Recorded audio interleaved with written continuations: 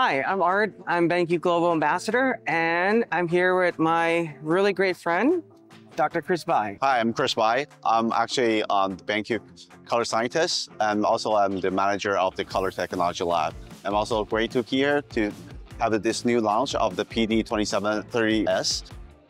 So um, let's talk about it, why we're having to introduce this model and why we're doing this introduction of the uh, Display ColorTalk solution to you.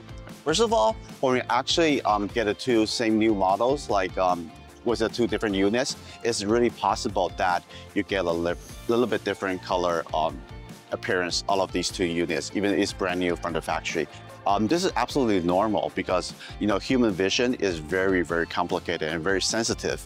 So even a little bit tiny difference that even is not measurable at all, you will spot the difference. That's why we developed this solution. It's catered to your eyes that without using a calibrator, you can actually using your eyes to actually adjust the monitors to be color consistent across the two monitors you're using. So how we do that, I'll let Art tell you how we using this piece of software called Display Color Talk. So with Display ColorTalk, there are a few things to note.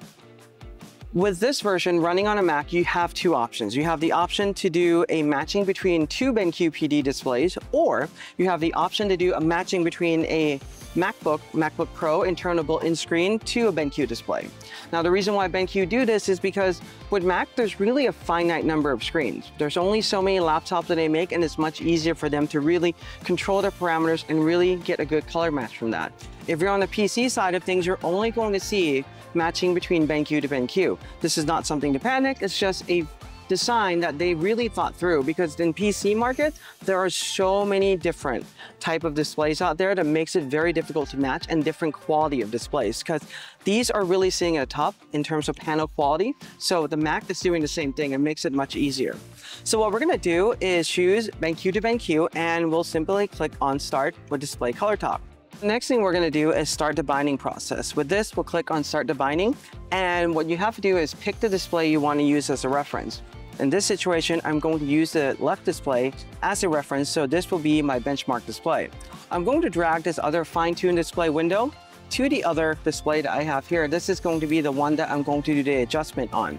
Now, you can move this window for the adjustment you know, have it on either side. What I'm gonna do is move it here. This way it's a little bit easier for me to, to see the adjustment on this panel in reference to this one. So from there, what I'm gonna do is click on bind on each one. What it's gonna do is grab the model number for the display by the information that the display is sending to the operating system. And we're also going to bind the other display. Once it's done, it's going to say the binding process is complete. We'll click on next, and this is going to give me a report in terms of like, hey, this is my display. It's going to talk with the display OSD. That is the display menu, the settings in the display is going to communicate directly with it, which is the reason why you saw this display kind of blank a little bit, where this one, it didn't do that because this is our reference model. Now, this is a process that it's kind of similar to, you know, a full calibration where it goes in and talk with the display, but this is based on our human vision. So now that we have everything ready to go, what we're gonna do is click on next, and this is where we start the process. So we have color patches that we need to look at and also a picture. This is the part where depending on your workflow, you need to decide what you're going to look at. If you're trying to do the color matching with every single element in here, it's not going to work. So you really need to decide. If you are a designer, our recommendation is to look at the color patches. This way you can see how the colors are matching up based on the patches you're using.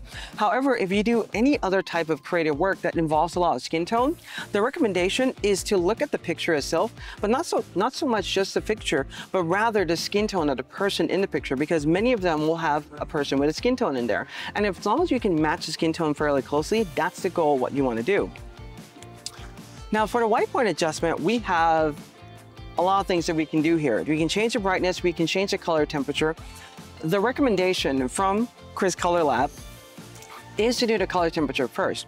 If you have done an RGB gain adjustment on your display before, you will note that when you start to change the RGB gain, a lot of time it changes the display brightness. So if you try to match the brightness first, you go in and change the RGB color gain, you're gonna sometimes dim down the display or make it brighter. So make the brightness the last thing you do before you continue on and click on next. So what we're gonna do right now is compare these two displays. So remember our left one is the reference, the right one is the one we're adjusting you. This is way too much magenta. And this is pretty much a color correction process very similar to that of in Lightroom, in Photoshop, where you're really trying to match colors. So for these, what I'm gonna do right now is pretty much add more green because this is way too magenta right now. So I'm gonna do this.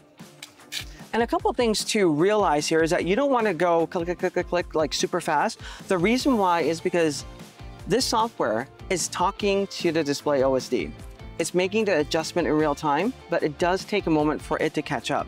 So just go through it fairly slowly and you'll be fine. And you can see the colors are starting to adjust now. We're starting to get, I would say, white that are a lot closer, although we're not there yet. And I also need to go in and reduce the red a little bit further to match it with our reference display. So I'm gonna do that right now.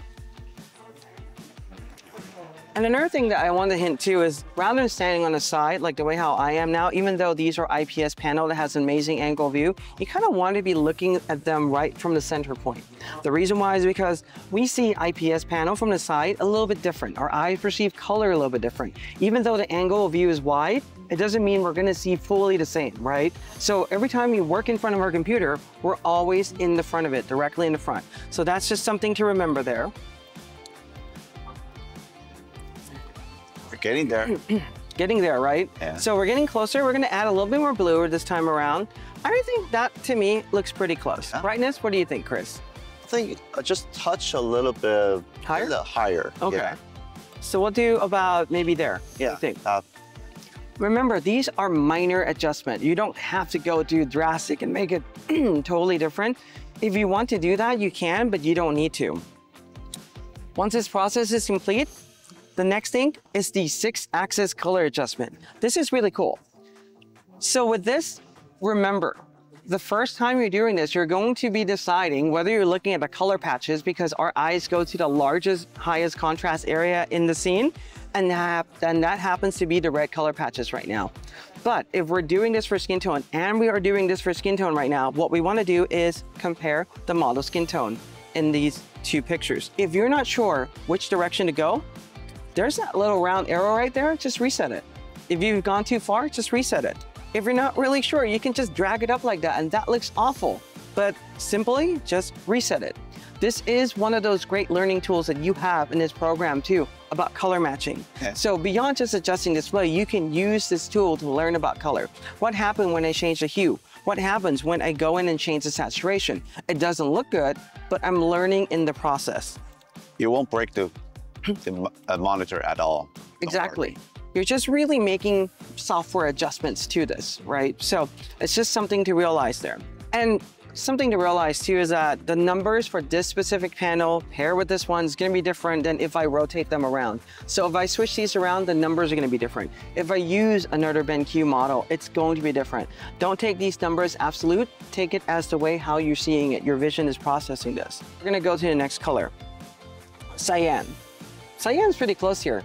And if you think they're pretty close, they look just about right, you can just simply go to the next color. By the way, you can always go to the previous color if you need to. And at the end, there's a way for you to jump to each individual color again. So it's not so much that you go forward and you can't go back. You can always go back to make adjustment at any given time. If they're close to your human vision, that's perfectly fine, but this is now the six color axis, the conclusion to all of this. So we see all these different colors. You can see them side by side there in this comparison. If you don't like a certain color or you think they're a little bit off from each other, you can simply go in and click, for instance, cyan, and it will actually pull the screen up and you can make minor adjustment to this as necessary. Now, do note that when you're at this last stage, there's no master reset. The reason why is because these color corrections, they're not just a one and done thing. You adjust one color, it affects the other. So if you reset this one, it's gonna drastically affect the way how the display is showing color overall, which is the reason why they did not put that reset function into this one. So anything from here on, it's really a minor fine tune to just get it to where you want it to be. So yeah, that's pretty much Display ColorTalk on BenQ brand new 5K display in the PD lineup. Really cool stuff. I hope that you learned from this. Actually encourage people to actually use it Mm-hmm. because uh, like I said before, even though we use uh, a lot of like a, a measuring tool and a lot of like a algorithm, like a very sophisticated algorithm to fine tune our panels like at the factory, but there's also like lots of variables in here to affecting the human visual system. So everybody sees color differently. So with your own eyes, you can adjust the, these two monitors to um, to the same degrees of like uh, consistency that to your liking. I think this is a wonderful job that um, we can do provide as a solution for you to use.